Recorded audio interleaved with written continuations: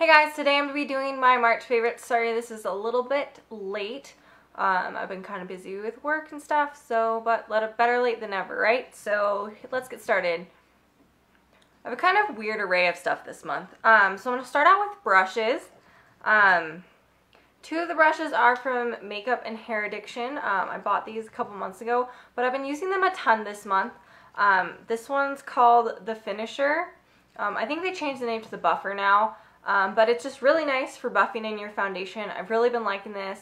Um, I've been buffing my foundation over most of my face, but avoiding like my chin and my nose area and then going just patting over it with a beauty blender to really like give me that seamless finish. I've really been liking that um, and I've been spraying my brush with a little bit of like either the e.l.f. or the NYX setting spray just to give my skin a little more wear since it's warming up right now.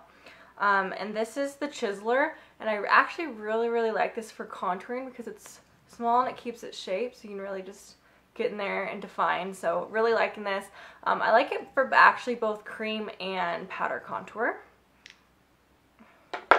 And I also got this It's Cosmetics brush. I think this is called the Contour and Highlight brush. I'm not really sure. Um, I just got it from Ulta. And I really like it because it's very, very dense and very soft. It's very soft so it doesn't like irritate my skin at all or like catch on any dry areas. Um, but it's also dense enough. I'm not using it for contour and highlight. I'm actually using it for blush. I do like to wear a heavier blush most of the time.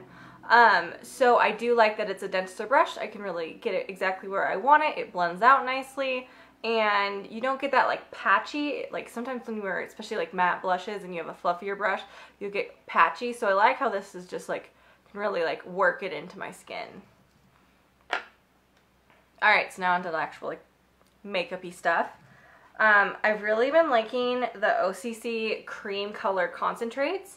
Um, I've been using John Doe a whole bunch. Um, I actually use this contour, very nice um, kind of ashy taupey color um, that's not super dark. It's not quite as dark as Illamasqua Hollow. It's a little bit lighter. So I really like that for um, my skin tone since I'm very fair. If you were much past a medium, probably wouldn't go for this because it's not going to be dark enough. Um, I've also really been liking the Grandma one. Um, been using this a lot actually, cheeks, eyes, and lips. Um, I like it a lot on my cheeks, um, in my lips especially, but especially on my cheeks for a cream color. It's really nice. Um, I've also been loving the NYX Butter Lipsticks. I grabbed these a couple months ago and I've been slowly adding to my collection. Um, I own Fireball, Snowcap, and Gumdrop. I like all of these. Fireball is actually one of my favorite colors and I'm currently wearing Snowcaps topped by the Naked Gloss of Walk of Shame today. Um, this might be my favorite nude. I have a really hard time finding nudes that I like. Um, a lot of them pull a little too like salmony on me um, since I am very fair and I'm not a big fan of that because sometimes it makes me look sick. Um, so I really, really like this color in particular. Um, but yeah, these are really comfortable to wear and have a lot of pigment, which is really nice. Um, I feel like I have a bazillion lip colors. Um, so this is Walk of Shame. I got this, the Naked Gloss. Um, Doe Foot Applicator, not my favorite, but that's okay. I really like these glosses. Um, they don't really taste like anything to me. Um, more than anything, they're comfortable to wear. They're not overly sticky, but they're still glossy. And a lot of times, when I wear glosses, they're just too sticky and I can't stand them, so I end up taking them off. But this one's really nice. It's very wearable. Um, again, with a gloss, it's not like the longest wearing, but it's not uncomfortable to wear for the, um, like, I get about four hours of wear, but it's nice because it's not uncomfortable. Oh my gosh, I feel like I have a bazillion lip products, but I also really like these Bite um, Cashmere Lip Creams. I have Moscato, which is the pink color, and Sherry, which is kind of this orangey red color. I really like these. These are a cream to matte finish. Um, I don't get quite as long as a wear time as like Stila Stay All Days, but these are much more comfortable, so I think I like these slightly more. Um, I do really like the Stila Stay All Day formula. Those are ones that I basically have to scrub my lips at night to actually get them off. These ones wear a really long time. Definitely can wear through drinks. Um, maybe wear through food if you're careful and it's not overly like oily like if you're eating onion rings or french fries. Um, but I really like these. They're super, super highly pigmented. Now my hand already has like makeup on it, but I'll just show you these. Um, uh, one thing that I'm not a huge fan of is the applicator. I don't really like doe foot applicators. I'd rather have a squeeze too, but whatever. Um, just since I feel like it's hard to apply with those. But as you can see, these are like super, super pigmented. Um, really like both these colors as well. But the cashmere lip creams, really like. Um, okay, maybe I'll just finish my lip products before I pull for other things. So I ended up getting pretty much all the lip tars in the plastics collection. Um, haven't worn Pool Boy very much yet, um, or Mannequin just because I have a lot of pinks. But Kimber and Roller Girl I've been wearing a whole ton. I really like these two colors. Roller Girl is like, might be my favorite purple. I really like Heroine by MAC. Um, I really like mixing my own purples. But this probably out of the tube without mixing colors, this is my favorite. Um, I do really like Hoochie too, but no, this one's more of like a true purple purple. Um, it's not quite how that, it has, the other ones have a tint more like pink to them, um, but I really like Roller Girl. Been wearing that a lot. And Kimber's just a really nice like true orange, kind of like pastel orange color, which I think is really fun, especially going into the spring and summer. Um, really liking the NYX Wonder Pencil. So this has been sold out at my Ulta forever. Um, I recently got it and I really like it because it's actually fair. Um, I have a really hard time. I like lighting my waterline in particular with um, a pencil instead of that's like nude instead of white because I think white's a little too stark. Um, and most of the time like they're fine but they're a little bit too dark. Like right now I'm using the um, NARS Larger Than Life.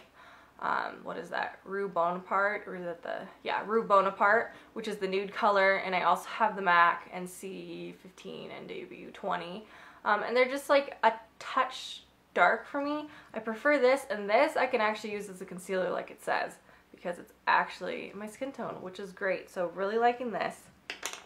Um, I've also, this is kind of like an old favorite, um, I've been using this a ton, the Pixi Brightening Peach um, corrector. I, a lot of times I gravitate towards using, I have a Sephora, like, I don't know, some type of radiance concealer that leans super, super pink on my fair skin. So I actually like using something with a little more pink because I'm so fair a lot of times. But I've been grabbing towards this a lot since I haven't been sleeping very well and I've been sick. And this works great. So really recommend this brightening concealer. Um, but a little goes a long way. I've also been absolutely loving the Urban Decay Electric Palette. Um, I wasn't originally going to be getting this when I just saw the swatches. And look at those colors. They're really pretty. But oh, there's the light. Um, wasn't originally going to get this. Wasn't super excited about it. Saw it in store. And then I decided I should probably get it. Um, I also blame Samantha from Battle Ash Beauty. Um, she has some beautiful tutorials. So if you haven't checked those out, um, check out Battle Ash Beauty. She has a lot of tutorials using the electric palette. Um, it's a pressed pigment palette.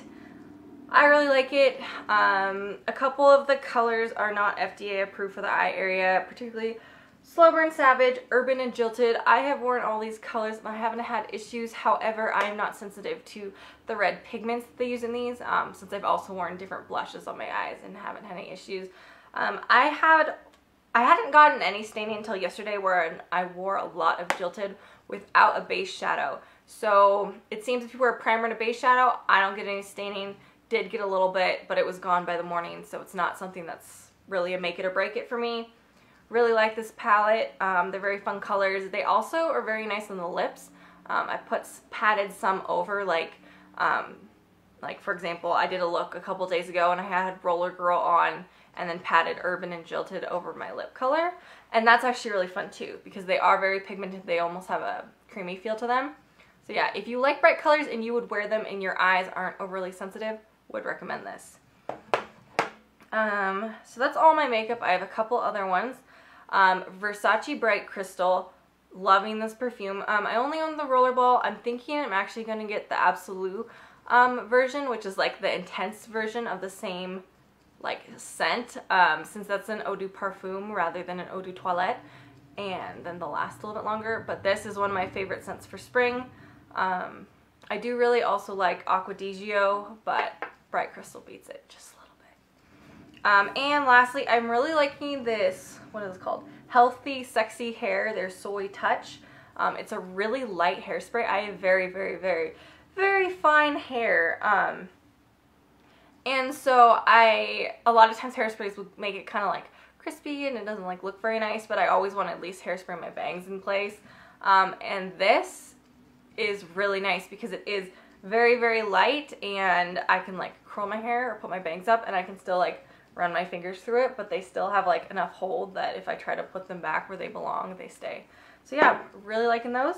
Um, those are all my March favorites. Um, since this is already really, really late in the month, so in April's favorites really soon. I'll try to not be so slow. Um, if you have any questions, comments, or any products I should try out, leave them in the down box below, and I will see you guys soon.